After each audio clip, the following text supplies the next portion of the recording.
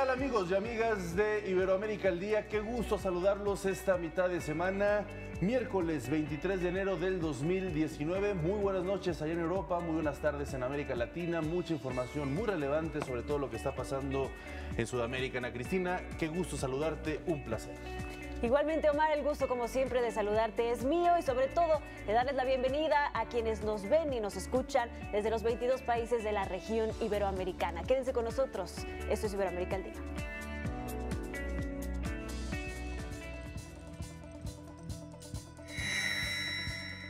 Opositores y oficialistas se manifiestan en contra y a favor del presidente Nicolás Maduro.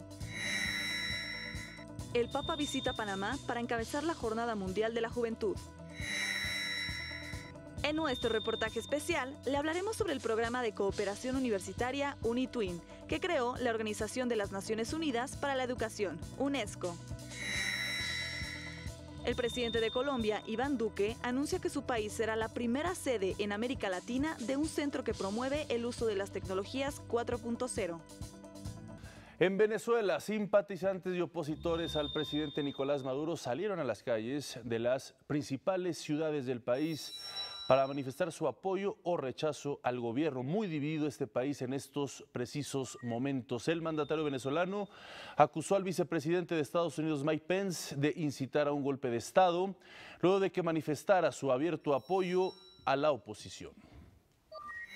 Nunca antes un funcionario del más alto nivel había salido a nombre de su gobierno, él habló a nombre del presidente de los Estados Unidos, a decir que en Venezuela la oposición debe derrocar al gobierno como sea, que rechazamos el intervencionismo en toda su forma, que rechazamos el golpismo, que queremos democracia, a todos los que queremos paz, soberanía, independencia y democracia, yo llamo a todos los venezolanos a la unión nacional. Y es que de acuerdo con el gobierno de Venezuela, los 27 soldados detenidos en días pasados por llamar a desconocer al presidente Maduro confesaron haber entregado a activistas opositores armas que robaron durante el asalto a un cuartel para que se perpetraran hechos de violencia durante las manifestaciones de hoy. La operación de falso positivo implica uniformar a estas células terroristas entrenadas en San Cristóbal y en Cúcuta con uniformes facsímiles de eh, los uniformes de la Fuerza Armada Nacional Bolivariana y de nuestra Guardia Nacional que eventualmente dispararían el día de mañana contra la manifestación opositora. ¿Para qué? Para cumplir las órdenes de Mike Pence.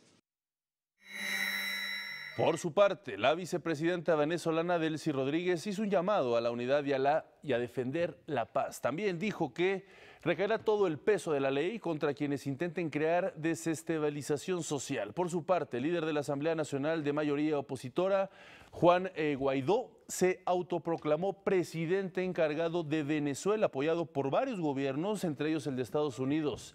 Inmediatamente, precisamente gobiernos, el de Estados Unidos, Ecuador, Costa Rica, Brasil, Colombia, Canadá, Perú, Chile, Paraguay y Argentina, así como la Organización de Estados Americanos, es decir, la OEA, reconocieron a él, a Juan Guaidó, como el mandatario interino de la nación bolivariana. Vaya conflicto y vaya paradoja la que se vive en estos momentos en Venezuela. Por su parte, el gobierno del gobierno de, el vocero del gobierno de México anunció que analiza la situación en Venezuela y que por el momento no hay cambio en las relaciones diplomáticas con este país. Vamos a otros temas y es que eh, durante esta semana le hemos estado eh, presentando reportajes especiales acerca de los mecanismos de cooperación en los que participan los gobiernos de nuestra región y sobre todo enfocándonos en el ámbito educativo. Por eso, eh, a continuación les presentamos un reportaje especial sobre algunos de los ejemplos de colaboración de educación superior. Hoy la entrega conoceremos a UniTwin, un programa de intercambio de conocimientos y experiencias en la investigación.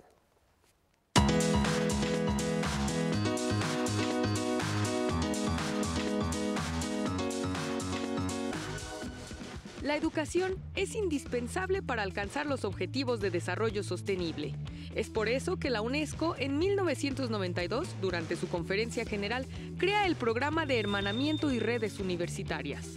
Este proyecto busca lograr avances en la capacitación de investigadores y el intercambio de conocimientos en los campus universitarios de los países miembros de la Organización de las Naciones Unidas. The big thing is higher education is aligning and moving from greening the campus to greening the mind. This is so important. Only about 3% of the world's population gets to go to higher education. Out of 1.1 billion people in Africa, 500,000 get to go to higher education. But higher education, these are the people who will form probably 85 to 90% of the shapers of the world of the future. So as far as the UN is concerned, higher education is the target. Actualmente, este esquema académico reúne a más de 700 instituciones educativas de 116 países. Este programa fortalece los lazos entre distintas casas de estudio, lo cual es necesario para impulsar el crecimiento económico, político y social. El intercambio de estudiantes, científicos, de materiales y recursos financieros son importantes para contribuir a las investigaciones y de esta manera lograr avances en la comunidad. En México, la Universidad Autónoma Metropolitana está incorporada a las cátedras UNESCO con un proyecto de alimentación. De entrada ya tenemos un, un primer título ¿no? que se hizo en conjunto entre la UAM y la editorial de la Universidad Oberta de Cataluña y que está hecho bajo, digamos, el, el, bajo la lógica del intercambio académico ¿no? de, de la cátedra Alimentación, Cultura y Desarrollo de la UNESCO. Uno de los temas de este estudio es comer en la calle. Es una práctica cultural ¿no? que está cada vez más presente en todas partes del mundo. Es un elemento que eh, se ha vuelto importante para el atractivo turístico, uh -huh. pero al mismo tiempo presenta un montón de problemas porque la mayoría es economía informal, ¿sí? Eh, genera conflictos en el uso del espacio urbano, y bueno, y por otra parte, pues es el, en el caso de México y de muchos otros países de América Latina, la comida en la calle es el primer vector de enfermedades infecciosas. La venta de comida en las avenidas requiere de la utilización de productos desechables que contaminan el medio ambiente. Además, los alimentos ingeridos en estos puestos de comida son de alta densidad energética, es decir, si se consumen eventualmente pueden desarrollar obesidad en el ser humano. La UNITWIN en estos 27 años ha logrado generar puentes entre los círculos académicos, sociedad civil e investigadores, de gran utilidad para la toma de decisiones de los políticos, así como el fomento a la diversidad cultural. Con información de Stephanie Velázquez para Iberoamérica al Día. Bueno, pues ahí está este interesante reportaje. Regresando a la información sobre Venezuela, que está en este momento en un punto de evolución muy complejo, muy crítico, eh, entre estas marchas a partir del reconocimiento de un nuevo presidente por parte de varios países, también de la Asamblea Nacional. Y por supuesto nos, referimos a Juan Guaidó. También por supuesto eh, hay agencias de información como AP que han hablado ya de eh, un par de personas que han muerto y varios heridos entre estas manifestaciones. Información que se está dando a conocer. El presidente eh, de Bolivia, Evo Morales, también ya publicó vía Twitter que apoya como lo ha hecho en, eh, los, últimas, en los últimos años de forma eh, absoluta al gobierno de Nicolás Maduro. Información que se está gestando. Evo Morales respaldó a Maduro y dice que las garras del imperialismo buscan nuevamente herir de muerte la democracia. Mientras tanto, el gobierno de Nicolás Maduro rompió totalmente las relaciones diplomáticas con Estados Unidos y les dio un plazo de 72 horas a los diplomáticos estadounidenses para que abandonen el país. Ana Cristina, amigos de Iberoamérica, pues sin duda una situación muy compleja la que se vive en estos momentos en eh, Venezuela, Así en las es. calles, en las calles de la ciudad con estas marchas. Así es, eh, sumándole también a la lista de países que habíamos mencionado que están apoyando a Juan Guaidó como presidente de eh, Venezuela. Está también sumándose Guatemala, quien, por ejemplo, eh, publica en su cuenta eh, oficial del Ministerio Exterior de Guatemala, Guatemala que expresa su respaldo a Juan Guaidó, quien hoy asumió como presidente de la República Bolivariana de Venezuela y dice, esperamos que a partir de hoy Venezuela pueda retomar el camino a la democracia, por lo que continuaremos apoyando las iniciativas enfocadas hacia ese fin. El vocero de la Secretaría de Relaciones Exteriores de México eh, dice que siguen analizando la situación y que en las próximas horas, dice, estamos recabando información, en las próximas horas daremos a conocer más detalles, sin embargo, hasta el momento no hemos cambiado nuestra postura respecto a Venezuela. Y bueno, sigue, siguen definiendo estas posturas los países de la región y del mundo con respecto a esta difícil situación que se vive en Venezuela. Y como bien lo comentaste, Omar, se habla de cuatro muertos, reportan las agencias de noticias, incluida F, en estas protestas eh, pro y antigubernamentales en Venezuela. Es correcto, Ana Cristina, un pulso eh, importante que por supuesto le daremos seguimiento. Por ejemplo, hace una hora Juan Guaidó, quienes muchos ya eh, consideran el nuevo presidente, otros por supuesto lo niegan. Ahí la importancia de este suceso que se prevé histórico. Dice Juan Guaidó hace una hora, hoy dimos un paso histórico junto a nuestra asamblea una asamblea que también ha sido eh, eh, no reconocida por el tribunal, por los jueces eh, venezolanos, y también afirmó que se reconoce la actitud cívica de nuestro pueblo y más que nunca necesitamos organización y reconocernos entre nosotros. Por supuesto, la postura de Nicolás Maduro es completamente opuesta y mientras tanto, así las cosas en Venezuela. Ana Cristina, estaremos informando durante este espacio, por supuesto, también el día de mañana, conforme se vayan eh, dando a conocer más información. Por lo tanto, eh, en este momento, manifestaciones multitudinarias en varias ciudades de Venezuela.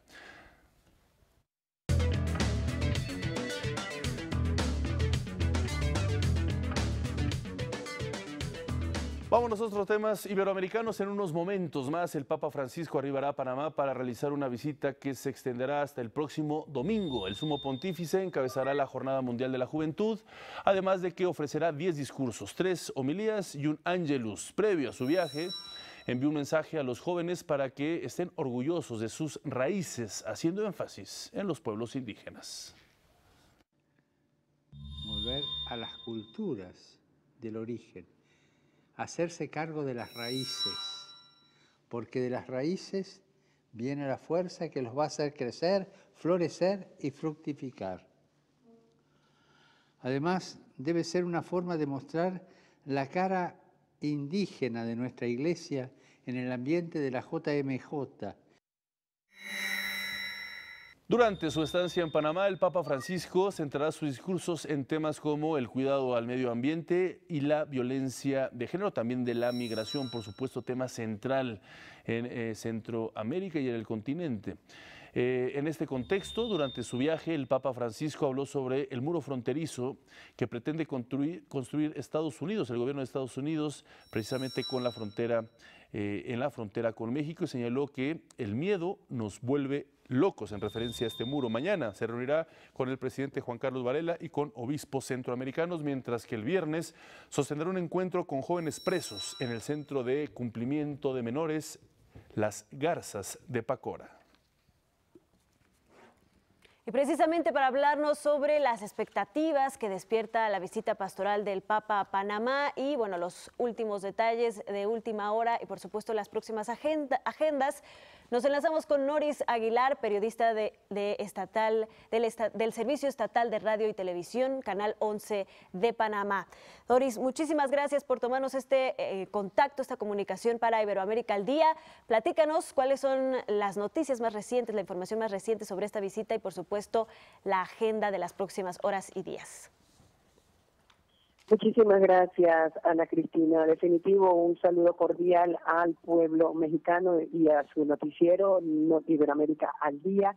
Sobre todo, como ya lo ha adelantado Omar, Estamos hablando de una agenda que estamos hablando ahora de Panamá, 4.15 de la tarde, y se espera entonces que el, sumo pontífice pudiera estar arribando al aeropuerto internacional de Tocumen en breves minutos. Allí será recibido por una delegación gubernamental, al igual que por aquellos peregrinos que han sido seleccionados previamente para participar de ese recibimiento al Santo Padre que desde las 9.50 de la mañana abordó el vuelo de Ali, Italia, con destino a Panamá. Allí se ha hecho acompañar de aproximadamente 60 periodistas en un vuelo que duró 12 horas. Decimos duró porque en verdad ya son pocos minutos los que faltan para que el Papa Francisco arribe al suelo panameño y por supuesto estamos hablando de 12 horas de vuelo y un pueblo que le espera peregrino en, en pantallas de las televisoras estatales ya se puede observar ese vuelo donde el sumo pontífice arriba a Panamá, como le decíamos, 4.15 de la tarde, pocos minutos son para que ya Francisco esté en suelo panameño. Importante, como lo decía Omar previamente, temas eh, muy centrales, medio ambiente, la migración, un, tema que ha calado muchísimo en todos los pueblos y podemos ya oficialmente decirle a sus televidentes que ya Francisco se encuentra en suelo panameño. Después de 12 horas de vuelo, ha arribado a Panamá el Papa Francisco. Ya, como se ha de conocer, pues vendrán los temas protocolares, él será recibido. La verdad es que a través de la anunciatura se ha pedido a Panamá como organizador de la Jornada Mundial de la Juventud que sea muy breve este acto protocolar de recibimiento del Papa Francisco en suelo panameño, porque definitivo él debe hacer un recorrido por varias calles de la ciudad que ya han sido adecuadas para ese recorrido que él debe realizar y que una vez culmine por las principales avenidas panameñas, entonces él llegue hacia la Santa Sede que está ubicado en el sector de Clayton en el centro de la ciudad capitalina de Panamá. Y allí vemos entonces o podemos informarle que al Italia el encargado de traer al sumo pontífice ya hace ese aterrizaje de rigor y se espera entonces que en breves minutos el Papa Francisco pudiera estar bajando de ese avión. Nuevamente le reiteramos el hecho que él se ha hecho acompañar, como ya es una tradición, de 60 periodistas. En las calles podemos observar peregrinos de todas partes del mundo, pero sobre todo hemos tenido la oportunidad, Ana Cristina y Omar, de hablar con peregrinos que vienen procedentes de Monterrey, de Toluca, de México, de ese, donde definitivo llegan a nuestro país en busca de fe e impregnan al pueblo panameño de esa necesidad de recibir o de escuchar la palabra de el Papa Francisco. Previamente, ayer se ha realizado una homilía con Monseñor José Domingo Ulloa, que es el máximo representante de la Iglesia Católica en Panamá, y él pues ha dicho a los jóvenes en ese encuentro que hagan ruido, como lo ha pedido el Papa Francisco, que no permitan que las personas mayores apaguen su voz. Y se puede eh, decir entonces en estos momentos que el pueblo panameño que ha esperado por una organización de muchos meses la llegada de Francisco a Panamá puede entonces ya señalar que se encuentra en suelo panameño. ¿Qué se espera? Es una expectativa. Obviamente eh, se habla mucho en Panamá el tema de que el Papa Francisco es muy espontáneo, no se sabe a ciencia cierta una vez cuando él eh, culmine estos actos protocolares cuál será su peregrinar. Lo que sí le podemos señalar, y como lo decía Omar, o lo comentaban ustedes previamente, eh, se ha informado en la agenda oficial proporcionada por el Vaticano que él llegaría al aeropuerto internacional de Tocumen, de allí él de, la Híjole, lamentablemente se cortó. Así es, perdimos la comunicación eh, por un momento con Noris Aguilar, periodista del Servicio Estatal de Radio y Televisión, Canal 11 de Panamá, pero estamos viendo imágenes en vivo precisamente de este aterrizaje de Alitalia, como ella nos comentaba, de la llegada del Papa Francisco a eh, el aeropuerto de Tocumen, ahí en Panamá. Y bueno, vemos ahí eh, precisamente pues algunas personas, parte de su comitiva de recepción, seguramente algunos feligreses, practicantes de la religión católica que pues esperan seguramente eh, con mucho ánimo la llegada del Papa a este país. Así es, Ana Cristina, pues son viajes muy coloridos, siempre con altas expectativas, ya que el Papa Francisco pues es un eh, pontífice muy cercano a la gente, que sin lugar a duda está llena de anécdotas, con encuentros inesperados, eh, improvisaciones, que también es muy asiduo el Papa Francisco hacer en sus recorridos o sus encuentros con la gente. Por supuesto que estaremos eh, informándoles eh, durante estos días que el Sumo Pontífice se encuentra en Panamá, pues de todas las actividades, de todos los mensajes y los encuentros que sostenga. Así que seguramente regresaremos en otros días con Noris Aguilar. Gracias de entrada por este este enlace desde Panamá. Vámonos a otros temas, vámonos hasta Europa. En Davos, Suiza, continúan las actividades del 49 Foro Económico Mundial. El presidente de Colombia, Iván Duque, participó en la mesa de debate dando forma al futuro de la democracia, donde habló sobre los retos que existen en el sistema político actual y eh, también de las herramientas que son necesarias para fortalecerlo. La forma correcta de fortalecer los problemas democráticos se tiene que basar en tres principios. La legalidad, combatir la corrupción y combatir a los grupos criminales ampliando el Estado de Derecho, lo que significa reconocer que para el progreso debe haber un libre mercado anunció que Colombia será la primera sede en América Latina de un encuentro de la cuarta revolución industrial que apoyará, asesorará y eh, formulará políticas para promover el uso de las tecnologías 4.0. Nosotros queremos acoger la cuarta revolución industrial. Ese es el por qué hoy lanzamos el primero de sus centros en América Latina, porque estamos convencidos que, si queremos ser un país de altos ingresos, tenemos que acoger, adoptar y adaptar las políticas correctas. Por otra parte, la directora gerente del Fondo Monetario Internacional, Christine Lagarde, se reunió con el presidente de Ecuador, Lenín Moreno, para expresarle su apoyo a los esfuerzos que hace por ayudar a los más pobres del país sudamericano, así como para intercambiar algunas perspectivas de la economía mundial. Regresamos a América, precisamente a América, del Norte, y es que el cierre parcial del gobierno de los Estados Unidos ya cumple 33 días. Mañana se espera que el Senado someta a votación las propuestas presentadas por el presidente Donald Trump y los representantes demócratas para poner fin al paro gubernamental. El presidente estadounidense demandó 5.7 mil millones de dólares para financiar un muro fronterizo con México a cambio de extender dos programas migratorios cancelados por él mismo. Uno, son tres años de protección a 700.000 beneficiarios del programa DACA, traídos ilegalmente por sus padres en una edad temprana. Tres años de extensión del estatus de protección temporal, o TPS. Por su parte, la líder de los demócratas, Nancy Pelosi, se manifestó en contra de permitir que el presidente tome de rehén al gobierno. Lo que el presidente propuso es garantizar lo que él mismo había quitado, los beneficiarios de DACA tenían su protección. Estatus de protección temporal tenían protección. El presidente la quitó y ahora dice, te doy esto de regreso temporalmente si me dan un muro permanente. Abra el gobierno. Este cierre afecta a un 25% de la administración pública de los Estados Unidos, manteniendo sin salario a más de 800 mil empleados.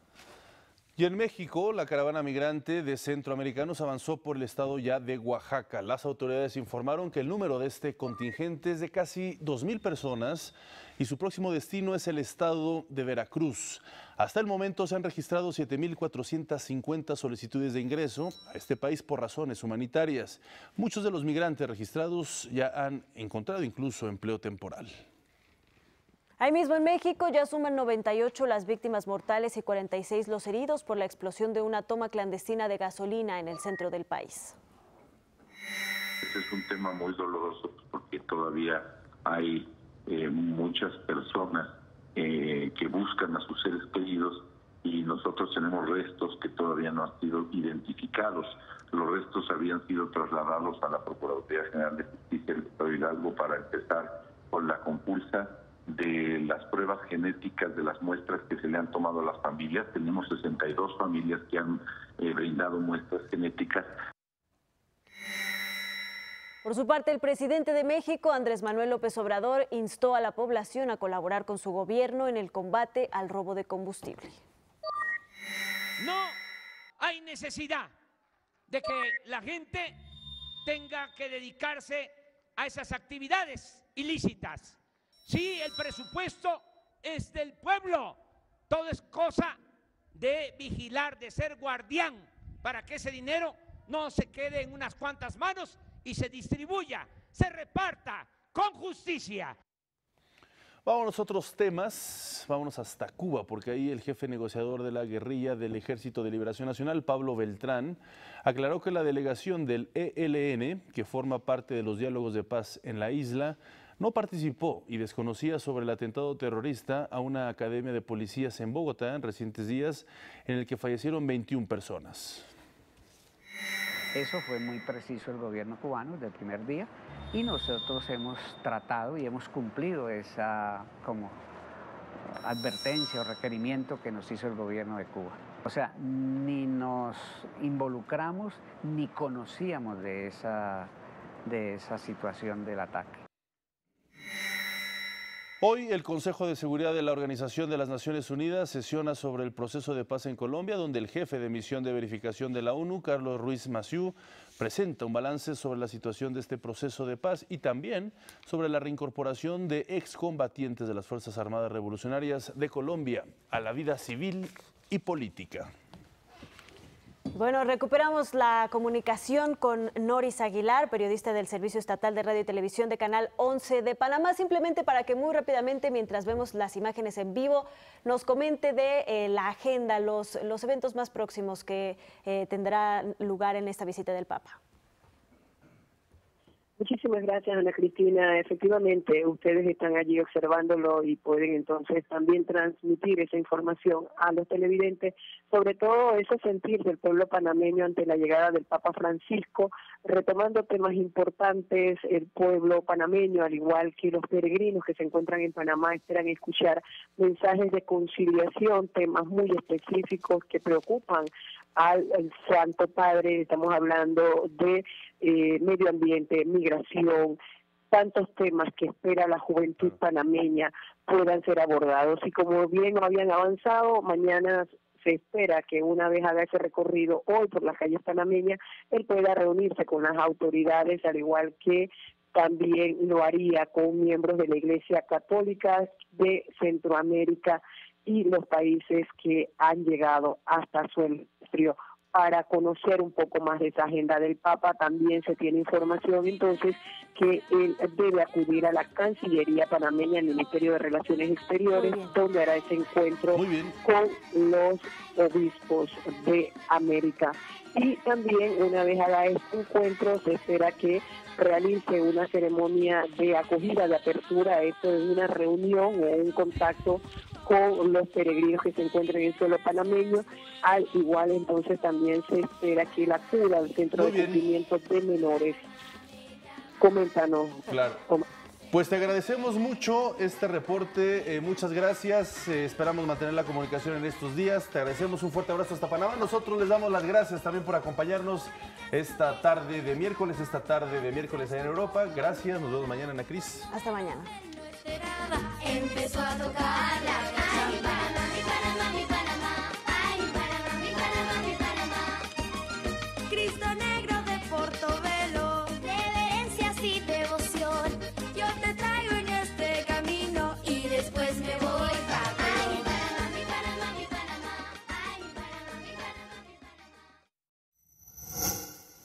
Gobierno de México.